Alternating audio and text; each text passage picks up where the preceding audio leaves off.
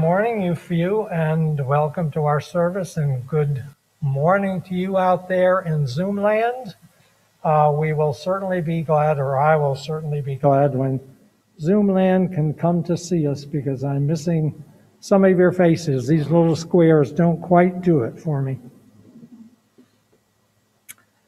Okay, there are a few announcements, and I'm going to give uh, the one that I probably will forget if I don't give it first. First, so uh, Rebecca, Pastor Rebecca, handed me a couple of uh, small uh, booklets this morning, and one of them is the March April Daily Bread, and if you want one, you can pick it up in the uh, vestry. And the other one is the Greatest Love, and I understand it the mission committee uh, is giving these out to us, and so therefore you can pick one of those up too, and they are also in the vestry. And of course, there are lots and lots of meetings for some of you, uh, and I'm not going to say via Zoom every single time uh, because most of them are on Zoom. Uh, first of all, on Monday, of course, is the Emmaus group at 7 o'clock. On Tuesday, there is a meeting of the Historic Celebration Committee in the vestry at 4 p.m. And of course, those of you who are saying to yourselves, what is the Historic Celebration Committee? We are coming up on a birthday in June, and so I'm assuming they're getting together something for us to uh, celebrate at that time. And then there's a prayer group meeting at 7 o'clock. And on Thursday at noon, there will be an interfaith council. Again, it is on Zoom. And then um, at 4 p.m., for those who watch the future uh, church summit sessions, you can get together to talk about what you learned.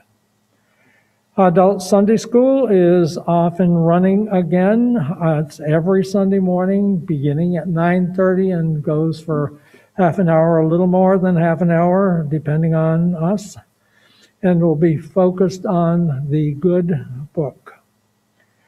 And thank you to Dottie Sunquist, if you're out there, uh, for sharing the flowers this morning in memory of your niece. And then the happy birthdays, and I just told Rebecca that Carol's birthday is no big thing. It isn't, is it, Jim? An 80th birthday is just another day. so happy birthday, Carol, uh, tomorrow. And then to Glenna, who is behind us by quite a ways, uh, celebrates her birthday on the 5th of March. Okay. Uh, my word of preparation today was sort of initiated uh, yesterday morning. Uh, I get up in the morning quite early. Uh, usually it is before daybreak. And I sit in my rocking chair or Barb's chair, which is right beside it. And as the light becomes to uh, be visible again, uh, of course, I'm looking out the window, and from my window, and I can look across the lawn, across the field. I can look down over the hill to the road and see people going off to work. I can also look up into the field and hopefully see some uh, wildlife, although there hasn't been much lately. But yesterday morning, and I'm sure a lot of you probably witnessed this, uh, as it was light, and I think it had started happening before it was light, there was a very soft snow coming down. And of course, you know the theme for uh, this morning's uh, program is silence and solitude. And so I was sitting there in my silence, and I got to thinking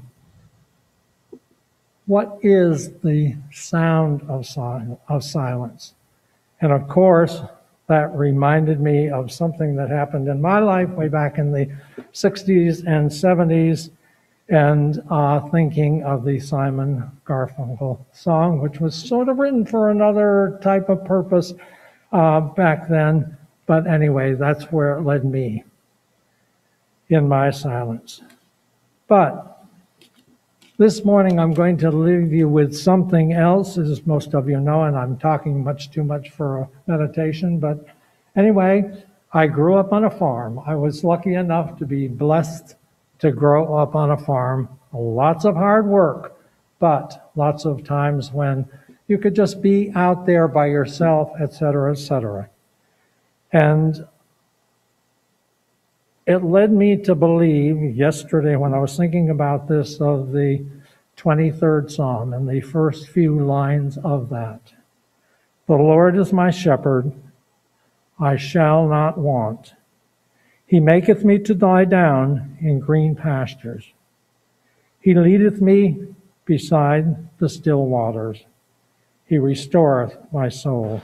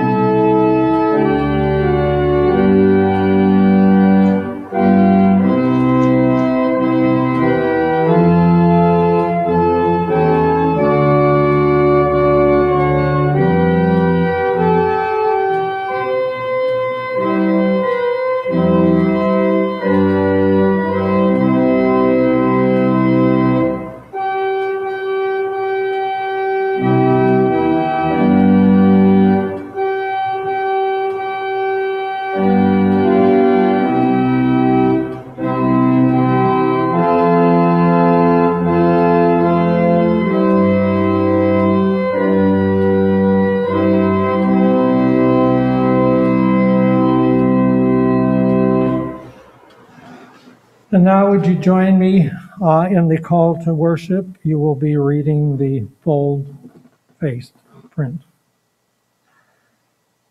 God, you're such a safe and powerful place to find refuge. You're a proven help in time of trouble, more than enough and always available whenever I need you. So we will never fear, even if every structure of support were to crumble away. We will not fear even when the earth quakes and shakes, moving mountains and casting them into the sea.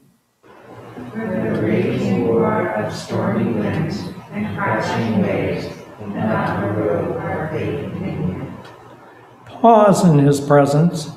God as a constantly flowing river whose sparkling streams bring joy and delight to his people. His river flows right through the city of God Most High into his holy dwelling places.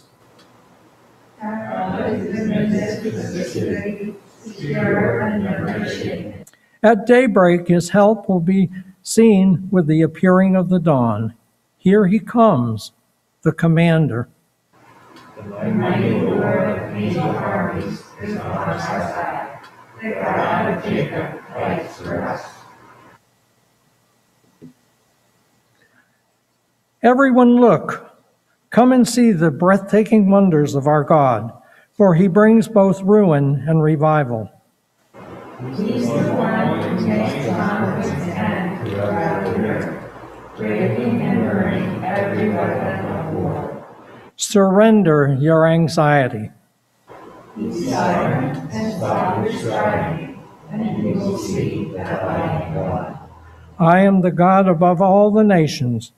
and I will be exalted throughout the whole earth.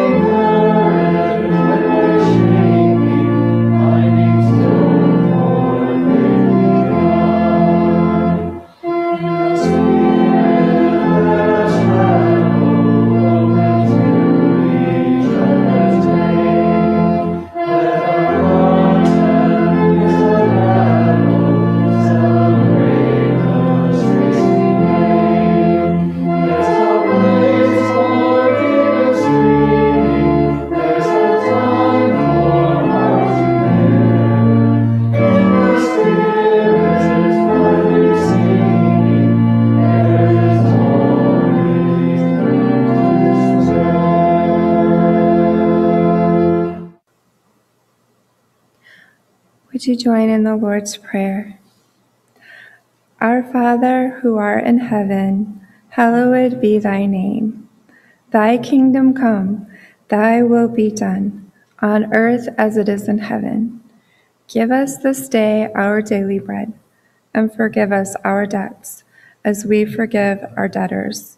And lead us not into temptation, but deliver us from evil. For thine is the kingdom, and the power, and the glory forever. Amen.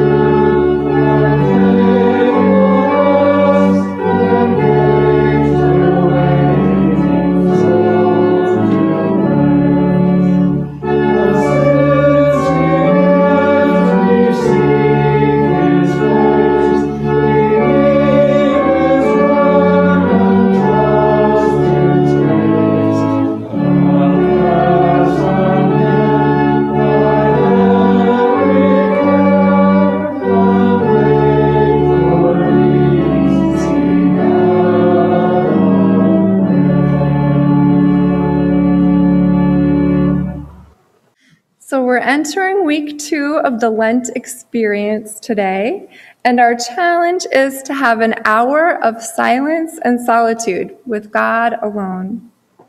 You might be thinking, I've had nothing but silence and solitude for the past year. And it's true that the pandemic has silenced some of the sources of noise in our lives. We don't have as many dinners with friends, game nights, large family celebrations or concerts or events to go to. But even when we're alone in our houses, it's possible that our lives are still noisy and unfocused. This is even more likely if your household has more than one person, because I think a lot of us are spending more time in the home together. Each person has a kind of a gravity, and we orbit around each other, our attention drawn to one another. And even if we're alone, we might miss the pull and presence of another person and then fill the gap with something that asks for our attention, even if it's just the media. Yet we're created with a soul that is meant to orbit around God as our center and our source of being. And we will only feel fulfilled and focused if we become still enough to be with God and sense His wisdom and guidance for our lives. When we set aside all the distractions and open the innermost chamber of our heart to God, we may find the words and thoughts of our own soul flowing in harmony with the Spirit's as we pray, or we might be in God, with God in a wordless way. I believe these are the kinds of experiences that Jesus is inviting us to as he shares insights about prayer. As you listen closely, you'll hear some of the same phrases that you heard in the passage about fasting in last week's service.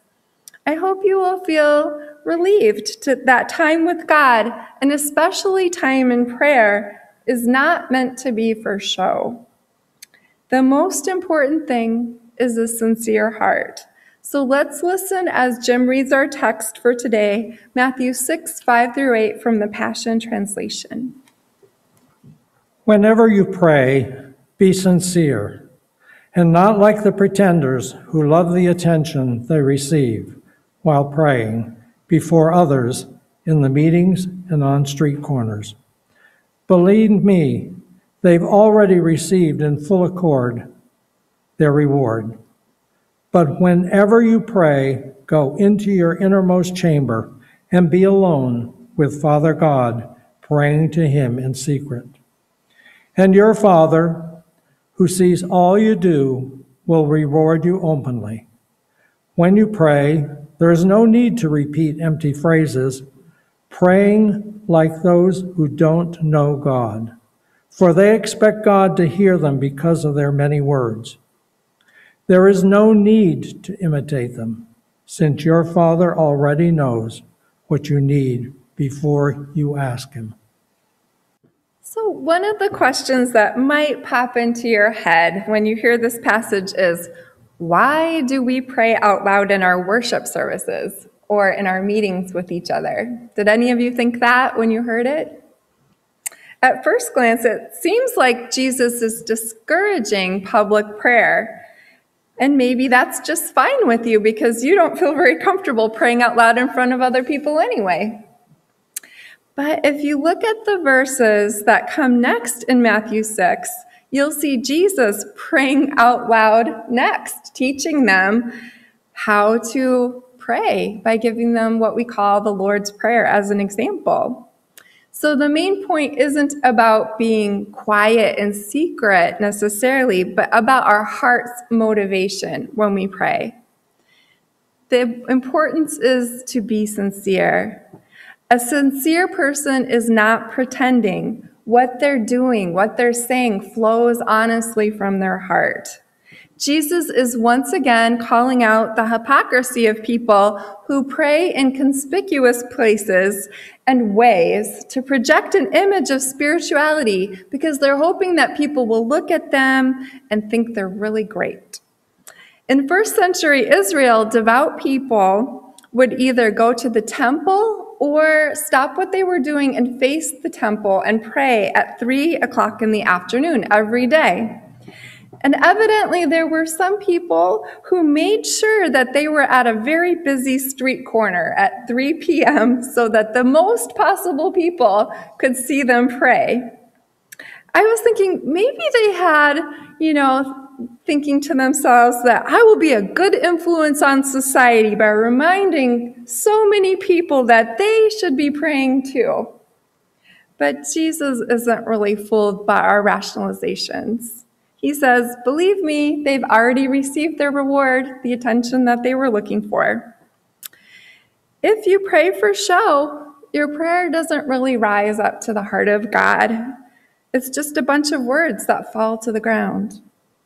But if we want our prayers to rise, to reach the heart of God, they come from our innermost chamber, our heart, and our soul.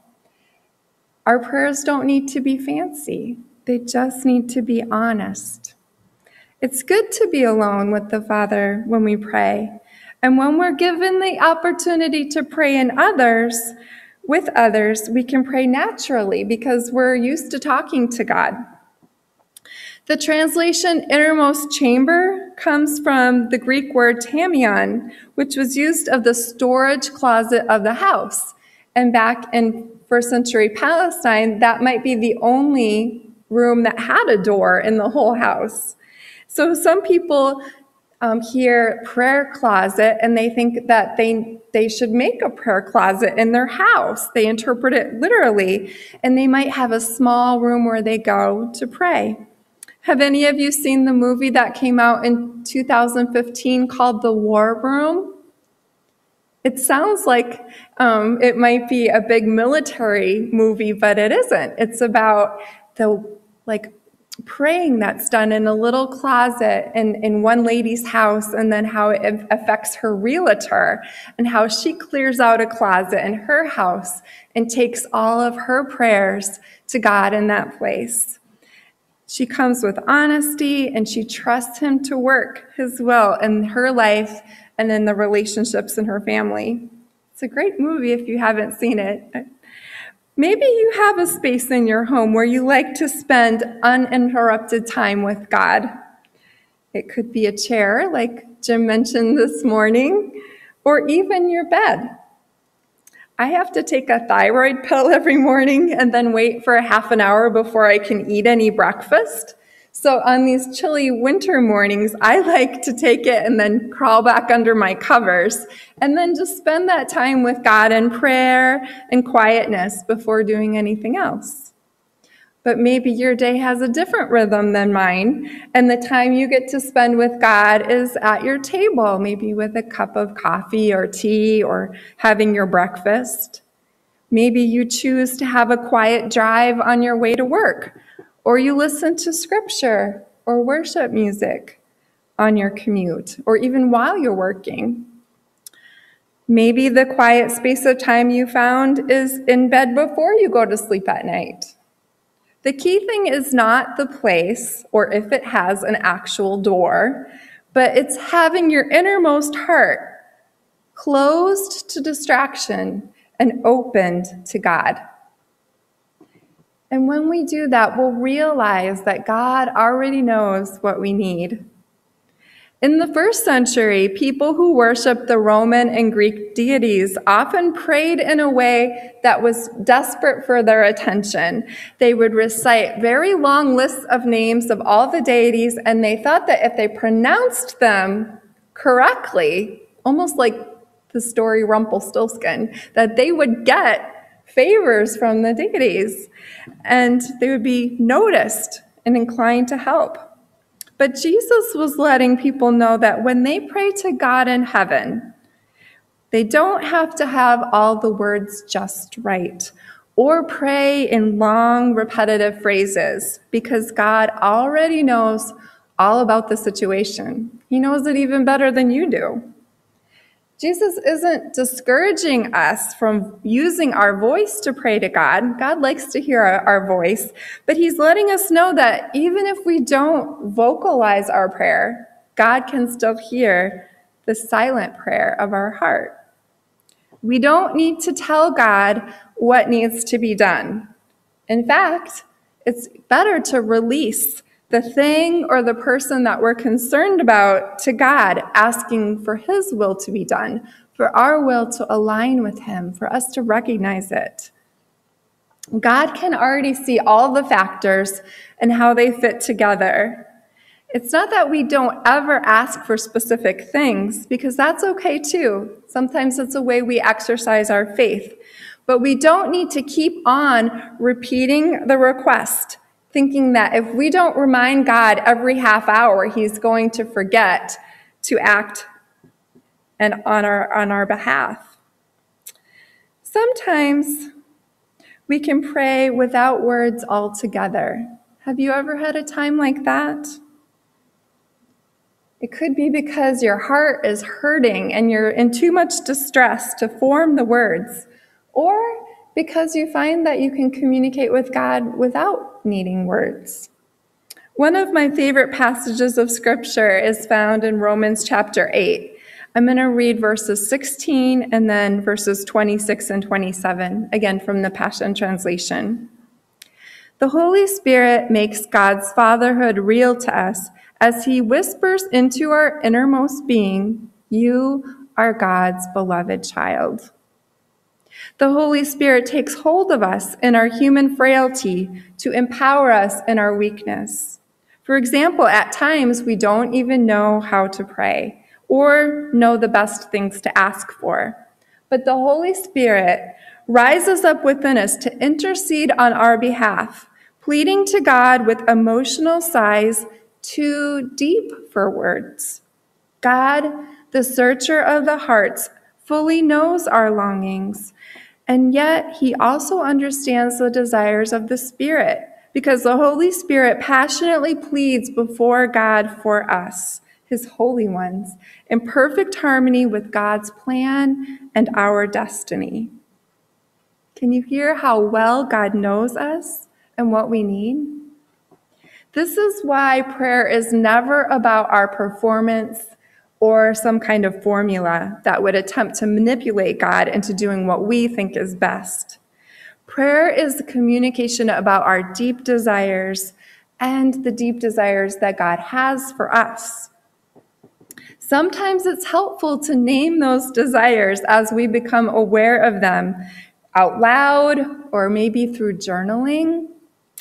Other times, words just aren't really needed, and God can meet us in the silence and fill our hearts with a sense of knowing and being known that transcends language. All of this is a part of Jesus' teaching about prayer and solitude from the Sermon on the Mount. And we could go on and look at the Lord's Prayer, but it's such a rich prayer that I feel it deserves more time and space than we have this morning to learn from it. So instead, I'd like to kind of jump ahead in the story from Matthew to a later time in Jesus' ministry when he felt the need to be with God his Father in silence and solitude. The context for the passage, Matthew 14, is sad and disturbing. It starts off by relating the death of John the Baptist, who was beheaded because of Herod's treacherous family. John's disciples were brokenhearted but they went to the prison to get his body and give him a proper burial. And the very next thing it tells us is that they went to see Jesus and let him know what happened. Verse 13 says, On hearing this, Jesus slipped away privately by boat to be alone. He had just had people begin to turn against him in his hometown of Nazareth, and now he hears that his friend, his cousin, John, has been murdered. I can only imagine the grief that filled his heart. He wanted to get away, to find some silence, some solitude, where he could just pour out his emotions with his Father God. But he didn't get to be alone very long because people were tracking him down. Verse 13 and 14 go on to say, When the crowds discovered he had sailed away, they emerged from all the nearby towns and followed him on foot. So when Jesus landed, he had a huge crowd waiting for him. How would you feel if you were Jesus and you couldn't even get one full day to yourself to process your grief? I think I might feel overwhelmed and probably a bit resentful of everyone's neediness. But let's see how Jesus responded to the disruption. Verse 14b says, Seeing so many people, his heart was deeply moved with compassion toward them. So he healed all the sick who were in the crowd. Even the boat ride, that brief time Jesus had gotten with his father, centered his heart and filled it with the compassion that God has when he sees humanity's neediness. Not only did he heal the sick among the people, but he goes on to multiply the barley loaves and the fish to feed all of them before he sends them home. When the meal was finished, Jesus told his disciples, Go ahead, get back in the boat I'll take care of this crowd. He was a gracious friend and host, both to his friends and to the thousands of people who interrupted his solitude. Then, as soon as the crowds left, Jesus went up into the hills to pray. Verse 23 says, As night fell, he was there praying alone with God. Can you imagine Jesus climbing up that rugged terrain? The hills there rise 1,200 feet right out of the water. He wanted to be alone with his Father again. He wasn't afraid to be alone. He wasn't afraid to be alone in the dark. And he wasn't afraid of the storm that blew in that night. But when he noticed his poor disciples struggling out there in the waves at four o'clock in the morning, he went to them, walking on the waves. Did you notice each time Jesus emerged from his time of silence and solitude with God, he was filled with compassion for people and divine empowerment to heal, to help, to encourage the ones he was called to serve? I believe that what was true for Jesus is also true for us. We might not be able to miraculously heal people or multiply food, but God can renew our energy to love them and to share what we have with them out of a sense of faith and abundance. We might not be able to literally walk on water unless it's frozen, but we can walk through the storms of life without sinking into despair. Our times of silence and solitude with God fill us with whatever we need to do God's will and work in the world. And without those times, we will find ourselves depleted and burned out, serving out of duty instead of filled with the energy of the Spirit. So, how might God be inviting you to experience silence and solitude? If you haven't spent much time in your home with God and a blank piece of paper, maybe you would like to spend time, an hour listening to your thoughts, mingle with those of the Holy Spirit, and see what words come. Eric Ferris in our challenge in the Lent Experience book gives us four words as prompts. In case you feel you need a little structure to lean on, you could just write about God, you, sin and the cross. If you don't feel invited to use those words, just write whatever comes to you. And if no words come, that's okay too. Just notice your emotions and whatever God draws your attention to.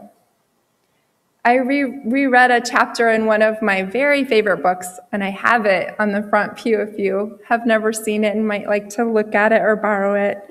Ruth Haley Barton's book called Sacred Rhythms.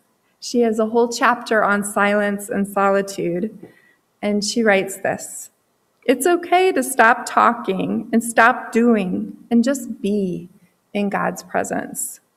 Silence deepens our experience of solitude because in silence, we choose to unplug not only from the constant stimulation of life in the company of others, but also from our own addiction to noise, words, and activity. It creates a space for listening to the knowings that go beyond words and feeling no pressure at all to put the depths of the human soul into words. The most essential question of solitude is How have I been wanting to be with God? And how has God been wanting to be with me? If you're taking notes, that might be one to write down. How have I been wanting to be with God? And how has God been wanting to be with me? I know that for my husband Matthew, he often wants to be out in creation with God, especially in the mountains. That's one of the reasons we moved here. In his work week, the needs of very many people press in on him, and it's refreshing to his soul to walk by himself at his own pace and notice the beauty of nature. Sometimes he comes back with a thought or idea that God has brought to his mind. And he always comes back renewed and ready to engage with me and other people in meaningful ways. This week, I felt an invitation from God to spend more time with Him outside, alone. On Tuesday morning, I saw the very first deer in our backyard in, in Danby. The deer was drinking down at the Baker Brook and then bounding through the field up into the woods. So I felt led that morning to strap on my snowshoes and make my way to the bridge over that brook and spend some time with God in prayer, letting go and then receiving what God wanted to give me for the day. And the rest of the day, I was very delighted to find that the Holy Spirit guided my thoughts and opened doors of connection with people in our church family. All week, I felt God expand my time to fit in visits and walks with people, together with my preparation for sermon writing and even the little funeral service that was yesterday. And then on Friday, I acted on a desire that had been building inside of me to spend some time alone with God at Emerald Lake. I walked out onto the ice covered surface of the lake and I thought it would be fun to go see what the islands look like. When I got to the first little island, I noticed that some deer had been there, and I remembered the deer that I had seen earlier in the week. I also thought about a conversation that Kara Davenport and I had when we were snowshoeing around Hapgood Pond the day before. She's, she was telling me that when students come to Merck, they invite them to sit down in nature and to think about three things. What do you notice? What do you wonder? And what does this remind you of? What connections can you make? So I thought I would give that a try, and I sat on a little fallen tree on the island, and I just really felt drawn to know more about the lives of the deer who had visited the island. So I walked on to the next bigger island and noticed that even more deer had been there. I also noticed a protected spot in the middle, kind of like hollowed out, and it felt like the palm of God. And I felt that the deer might like to go there and get out of the wind. Then I followed more deer prints out into the water again that was covered by ice, and I sat down right on the ice and just looked up. It was such a beautiful day on Friday. I hope you got to go out too. Just watch the clouds move as the wind blow them into different shapes, like we do when we're kids. I kept following deer prints until I reached the shore, and then I was seeing where the people walked on the path, and I did that for a little while. But then I saw the deer prints veering back off into the higher woods, and I felt invited to go there. God knew I wanted to see where the deer went to sleep. And soon I came across some of the places that they had moved the snow away down to the dirt, and there were like brown, crunchy leaves that weren't even wet anymore. And I saw several of the places where it seems like the deer were sleeping. I took my mitten off and I put my hand to the ground and felt it was kind of warm. And I just was very surprised and pleased that God had shown me that. That we were walking together and He knew. It also reminded me of a book I read when I was a young girl. Maybe you've read it. It's called Hinds Feet on High Places. And it's an allegory about walking with God and how precious that is. It's written as though you are a deer. It was a soul filling time of adventure, directed by my loving Heavenly Father. I felt a childlike sense of wonder stir in me, and I went back to the house pretty excited to write the sermon for today. I don't know what God's invitation to silence and solitude will look for you like for you. But I believe that if you listen, you will know what it is. Your time doesn't have to look like anybody else's, and you don't have anything at all to prove. The important thing is what God mentioned that you're sincere in your communication with Him, whether it's with words or without. You will find that God knows everything that you need. And God is gracious in replenishing and renewing your spirit whenever you're courageous enough to turn off the noise, to step away from the work, and to seek Him in silence and solitude. Would you pray with me? Dear God, I thank you for this invitation to draw close to you. I pray that every person in our church family will take the invitation that you create, especially for them, not just this week, but that they will love it so much that they'll do it every day. Lord, being with you is the most joyful thing we can do. Help us not to be afraid, to be honest with you, to open our heart to you, to pray, and to know that our heart is reaching your heart. Thank you for the Spirit who enables us. In Jesus' name, amen.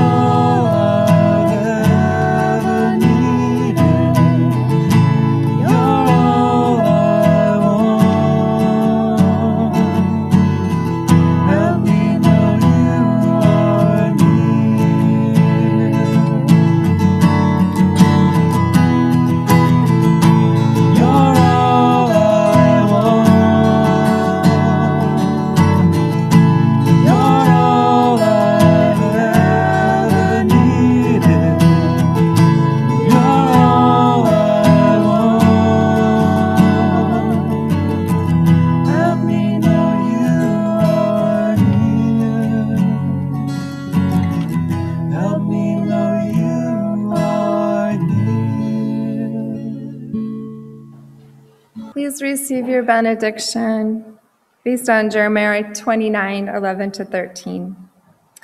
May we draw near to God's heart every day, that he may settle our hearts in his presence. May our hope be renewed as we find our trust renewed and strengthened. The future is in his hands, and his plans bend towards shalom. May we come to God in prayer, remembering his promises. He assures us, I will hear your prayers. When you seek me in prayer and worship, you will find me if you seek me with all your heart and soul. Amen.